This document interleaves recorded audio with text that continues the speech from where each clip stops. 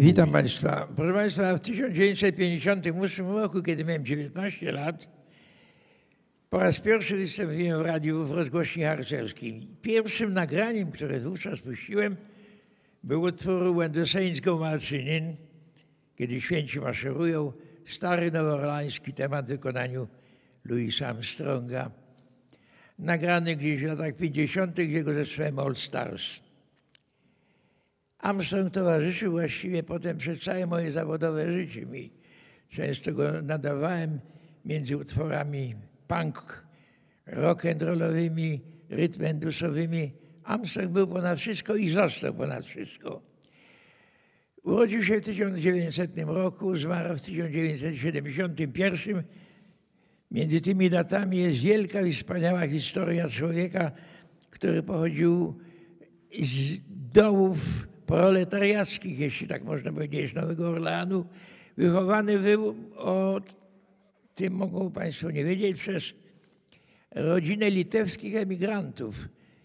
Potem wiele razy dziękował swojemu przyszłanemu ojcu, który podarował mu pierwszy instrument, kiedy odkrył ślad talentu Armstronga.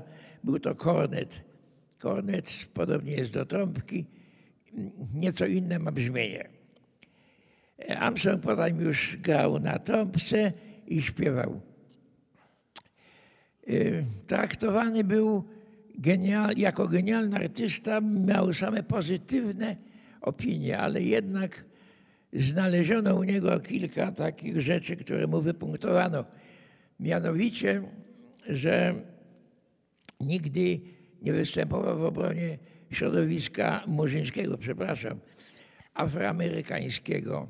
No tak, przyjął taką postawę i tylko raz zadzwonił do prezydenta, chyba to był wtedy prezydent Eisenhower, kiedy w miejscowości Little Rock zbyt słabo prezydent protestował przeciwko temu, że murzyńskie dziewczynki nie, nie pozwolono rozpocząć nauki w szkole już dla ciemnoskórych i dla białoskórych.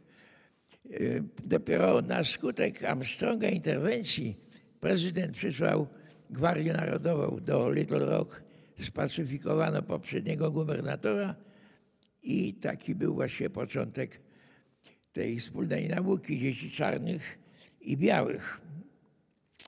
Krytykowano go również za to, że trochę błaznował wobec białych, ale taka była polityka, no może nie tyle polityka, taka była natura rzeczy. Tak środowisko murzyńskie, jeszcze afroamerykańskie jeszcze nie protestowało, jeszcze nie było czarnych panter, tylko właściwie byli tacy ludzie ulegli wobec białych i dla nich śpiewający, ale oceniani wysoko przez wszystkich. I jeszcze jedno było kuriozalne, zarzut wobec Armstronga ze strony francuskich krytyków, że nieestetycznie wygląda na estradzie, że się poci i że to takie jest nieładne. No cóż, proszę Państwa, muzyka jazzowa wymaga takiej ekspresji i tak się gra, tak się śpiewa i tak się wygląda. Armstrong nagrał niezliczoną ilość płyt.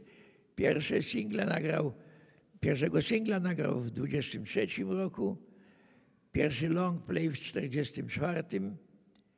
Tych long playów było ponad 40, a w sumie nagrał ponad 250 piosenek. Największy sukces komercyjny odniosła płyta z utworem i zatytułowana Halo Dolly. A propos występował również w filmach jako aktor.